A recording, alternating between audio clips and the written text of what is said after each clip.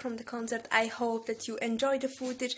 The show was amazing. The light, the light at the show the sound everything was perfect and all the bands were great within temptation was great dragon force was great it was like i'm so happy because it was so beautiful i hope that the footage is okay because i never record um, with this phone um, any kind of concert so that's it um, i wish you all a great day. Remember to stay positive stay rock and bye bye